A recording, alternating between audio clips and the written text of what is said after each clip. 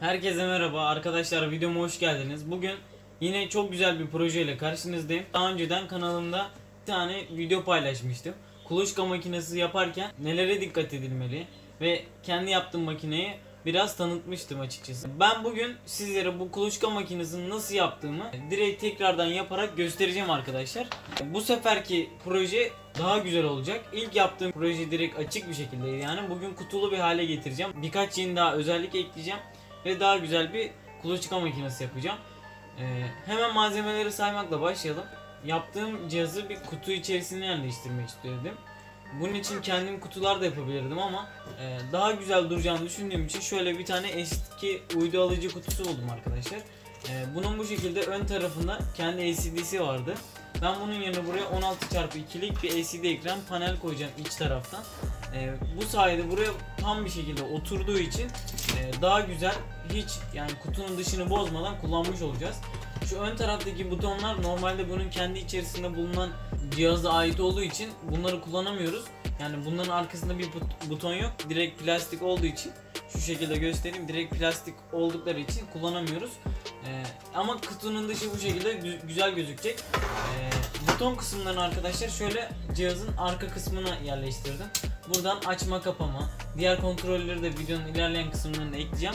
Bunları videoya başlamadan önce videoyu uzatmamak için eklemiştim. Şuraya bir tane 220 volt kablo ekledim arkadaşlar. Toprak hattı şöyle göstereyim.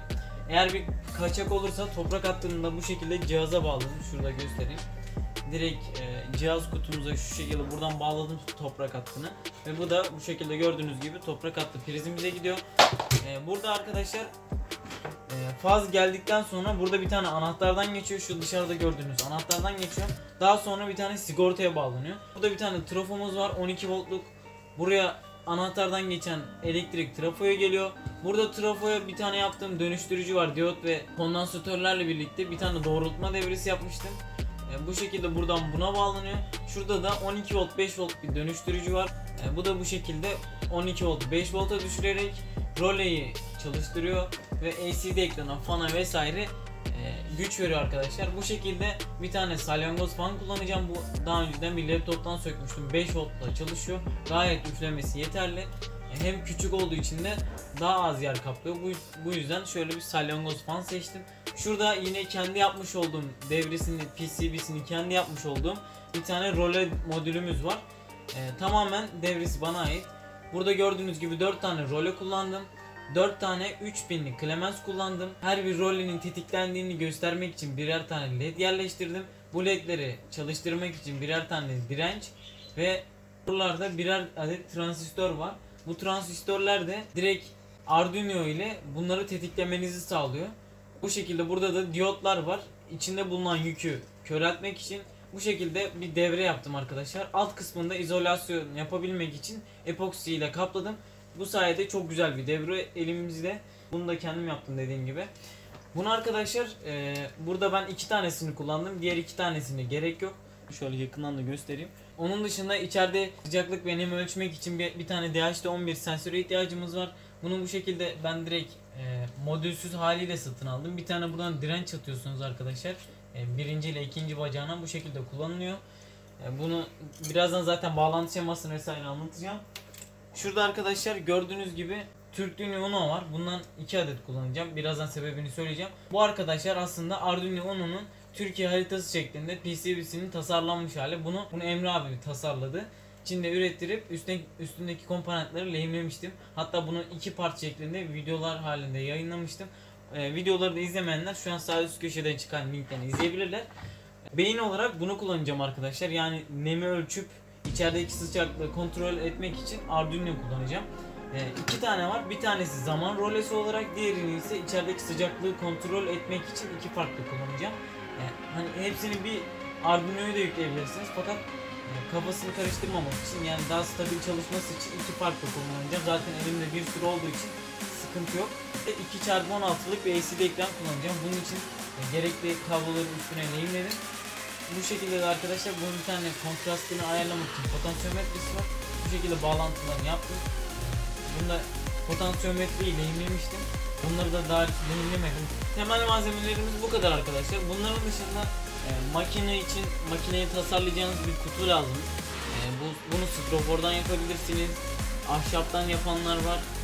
Buzda eski buzdolabından yapanlar var. Bu sizin e, açıkçası bulabildiğiniz şeye bağlı. Tane göl kullanacağız. Bu şekilde arkadaşlar elimde bir tane 63 yumurta kapasiteli bir viyol var. Bu ne arkadaşlar? Öncelikle onu söyleyeyim. Ee, yumurtaların arkadaşlar bir süre boyunca çevrilmesi gerekiyor. İçindeki embriyonun e, hareket halinde kalması ve yumurta kabuğuna yapışmaması gerekiyor. Bunu sağlayan makine de bu arkadaşlar. Yumurta çevirme viyolu. Bunun bu şekilde burada yatakları var. Her biri 9'lu 7 tane olması lazım. Yani bu şekilde bir viyolumuz var. 9 çarpı 7'den 63 adet yumurta alabiliyor. İçine e, şuradaki kanalları sayesinde ördek, tavuk ve bıldırcın yumurtası koyabiliyorsunuz. E, şurada arkadaşlar bir tane step motor var. Bu step motor 220 voltla çalışıp buradaki viyollerin dönmesini sağlıyor. Bu şekilde de yumurtaların embriyosunun yapışmaması sağlanıyor. Yani bu önemli bir şey aslında. Yani bunu almayabilirsiniz. Siz bunun yerine kendi elinizle yumurtaları günde belli bir aralıklarla yumurtanızı çevirebilirsiniz. Ama ben bununla uğraşamam. Ma- yumurtaları makineye koyayım. 21 gün sonra gelip kendim civcivleri alayım istiyorsanız eee, bunu almanız gerekiyor. Bu arkadaşlar kendi kendine yumurtaları çeviriyor. Ama şöyle bir sıkıntısı var. Bunu direkt 220'ye bağladığınız zaman arkadaşlar içinde belli bir devre olmadığı için motor sürekli olarak yumurtaları döndürüyor. Bu da bizim bir, tabii ki de istemediğimiz bir şey. Bunu nasıl kontrol edeceğiz? Yine gördüğünüz gibi bu şekilde Arduino ile tetikleyeceğiz. 15 saniyede arkadaşlar bir tur atıyor. Bunu hesaplayarak Arduino ile buna komut vererek bunun çevrilmesini sağlayacağız. Ee, Ben bunu daha önceden yapmıştım. Tekrardan bunu temizleyip bunu kullanacağım arkadaşlar. Siz daha küçük ve da veya daha büyük göller kullanabilirsiniz. Ama piyasadaki şu an en büyük göllerden bir tanesi bu. Dediğim gibi arkadaşlar temel parçalar bu şekilde. Ee, onun dışında şurada size bağlantıyı göstereyim hemen.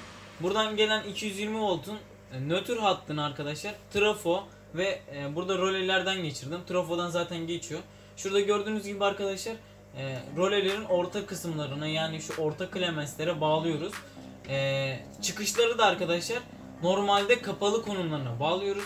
Şöyle gördüğünüz gibi iki tane de kablom var. Bunları arkadaşlar şöyle biri viyole biri de ampule gidecek şekilde dışarı çıkarttım.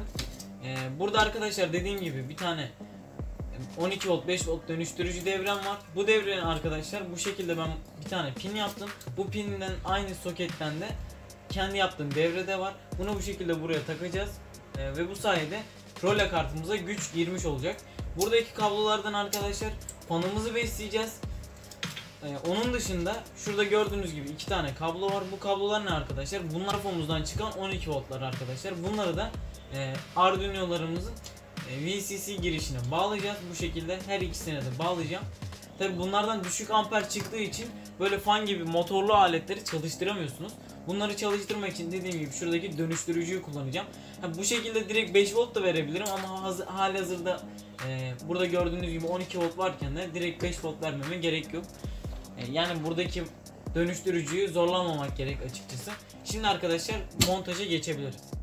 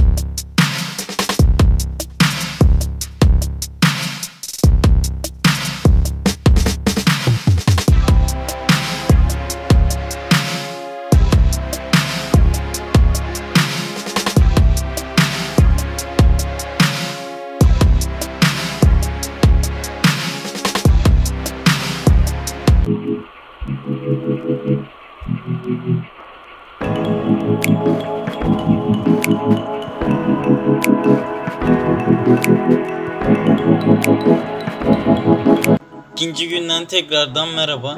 Arkadaşlar dün gece komple e, cihazımızın kablolamasını, bağlantısını vesaire tümünü lehimledim arkadaşlar.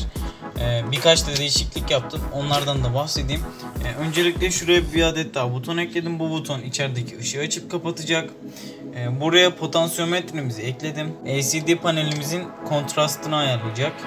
Şuraya arkadaşlar 4 adet led ekledim. Ee, bunların da nereye konumlanacağını ayarlamadım ama içeride ledler var. Ekledikten sonra da ledlerin üzerinden zımparalayıp düz bir görüntü elde ettim. Onun dışında Türk Yunolarımızın bağlantılarını yaptık.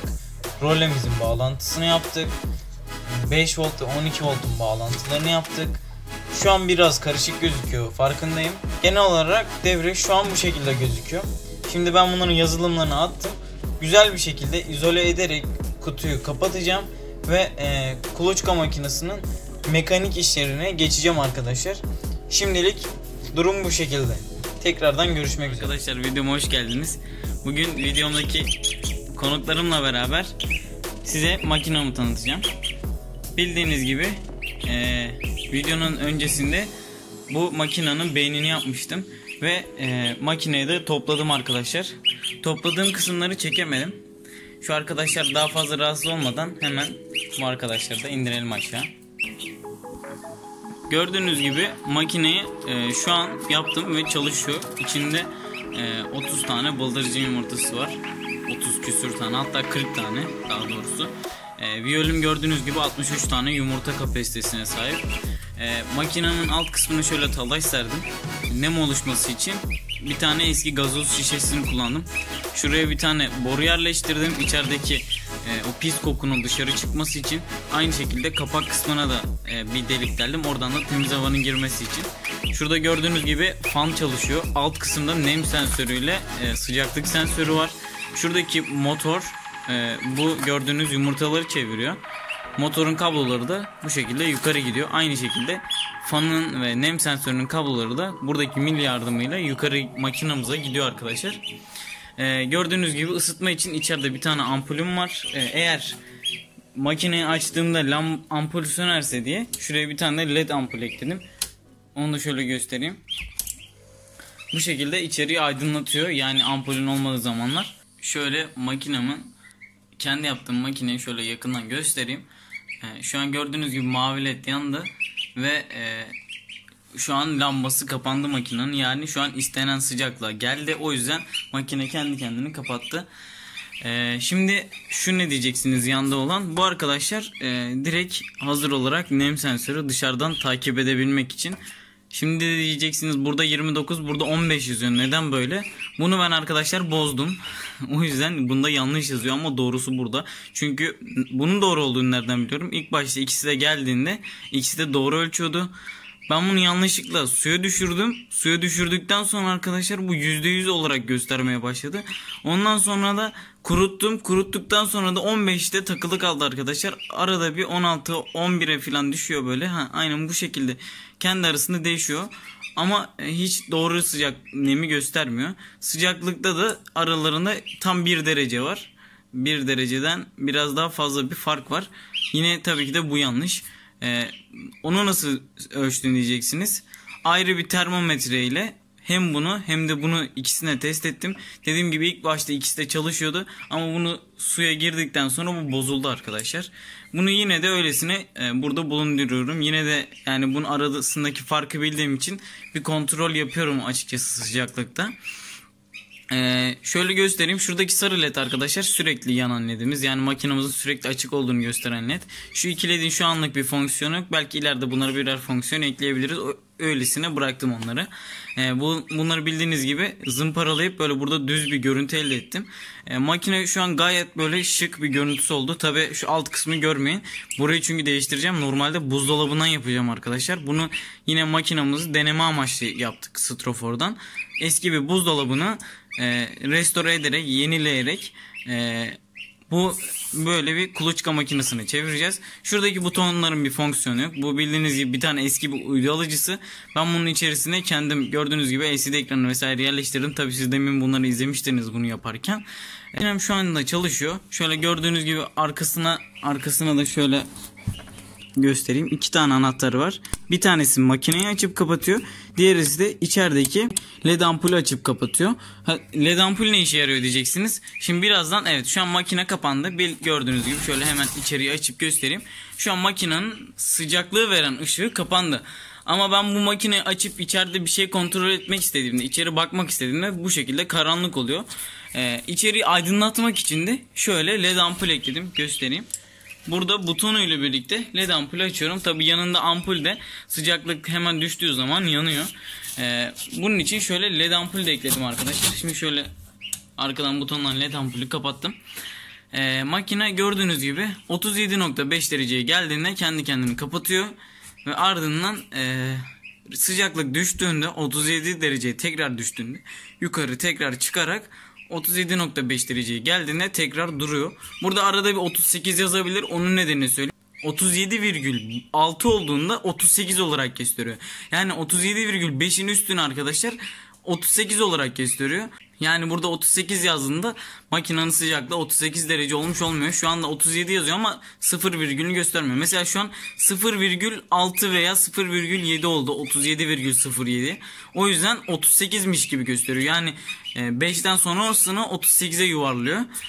Ee, bu şekilde nemi de içeriden takip edip içeriye tekrar su vesaire ekliyorum. Biraz sıcak su ekliyorum. Daha çok su ekliyorum gibi nemi arttırıyorum arkadaşlar. Nem şu anda pek bir önemi yok. Çünkü yumurtalarımızın ilk günleri e, ilerleyen günlerde çıkım günlerine yaklaştığımızda nem daha çok önemli oluyor. Şu anlarda dediğim gibi pek bir önemi yok. Şuradaki butonları arkadaşlar ileride bir fonksiyon ekleyerek içerideki e, istediğimiz sıcaklık değerini vesaire ara, ayarlayabilmemiz için bunlara ileride buton ekleyeceğim. Tabi şu an deneme sürecinde dediğim gibi bir önceki yaptığım versiyonunda bu şekilde kutulu değil de e, direkt uzay montaj şeklinde dışarıdan yapmıştım. Onun videosunu da kanalıma yüklemiştim fakat e, geçenlerde videoyu sildim. Yerine bu videoyu yükleyeceğim arkadaşlar. E, açıkçası o videoda pek fazla izlenmemişti. E, şöyle iç kısmına bıldırcın yumurtası ekledim arkadaşlar. Şöyle göstereyim. Dediğim gibi 40 tane bıldırcın yumurtası ekledim. E, bunların çıktığı zaman tabii ki de videosunu çekeceğim. Bu e, makinenin ilk yani ilk versiyonunda ilk yaptığım versiyonunda daha önceden bıldırcın yumurtası, tavuk yumurtası, ördek yumurtası vesaire koyup test edip çıkartmıştım, denemiştim. Hindi vesaire de çıkartmıştım. Yani her yumurtadan bulabildiğim yumurtaları denemiştim. Bu daha profesyonel haliyle bu makineden de e, yeni bıldırcınlar çıkacak inşallah. Tabi çıktığı zaman çıkarken daha doğrusu hemen videoyu çekmeye başlayacağım. O gün takip ederek. E, size daha detaylı bilgiler o gün vereceğim. Yani makinenin çalıştığını da e, göstereceğim sizlere. Eee Tabi bu iş hemen olmayacak. Ee, normalde bıldırcın yumurtaları 18 günde çıkıyor. 15 gün gelişim 3 günde çıkım günleri var arkadaşlar. Ee, çıktıkları zaman dediğim gibi kanala video yükleyeceğim. Ee, şu anlık makineyi kurdum. Deniyorum bu şekilde. Ee, Strofor'dan bir kutuda şu an makineyi test ediyoruz. Genel olarak bu şekilde. Tabi şimdi siz diyebilirsiniz. Ben mesela e, gidip de bunlarla uğraşmak istemiyorum. Hani bana böyle bir görüntü olmasına gerek yok. Civciv çıkartayım yeter. E, mesela bunu bu kadar uğraşmak istemiyorum diyorsanız da internette hazır satılan şöyle termostatlar var. Bunlardan alabilirsiniz. Tabii ki bunlar e, bunların yanında fos kalıyor. Yani bunlara göre daha profesyonel bir şekilde çalışıyor. Çünkü mesela bununla ayarladığınız sıcaklık değerinde bunun gibi çalışmıyor. Yani bu daha profesyonel bir şekilde çalışıyor. Ee, bunda sadece sıcaklığı görebiliyorsunuz. Bunda hem sıcaklığı hem nemi vesaire görebiliyorsunuz. Hepsi tek bir makinede toplanmış bir halde. Ee, yani tamamen bu el emeği. Bunda direkt adamlar hazır yapmış bu şekilde satın alabilirsiniz. Bunu internette birçok yerde satıyorlar. Daha önce de görmüşsünüzdür zannediyorum. Videomuz bu şekildeydi arkadaşlar. Tekrardan yavrular çıktığında görüşmek üzere. Videomu izlediğiniz için çok teşekkür ederim. Bir dakikanızı ayırıp kanalıma abone olmayı ve videomu beğenmeyi unutmayın. Kendinize çok çok iyi bakın arkadaşlar. Görüşmek üzere.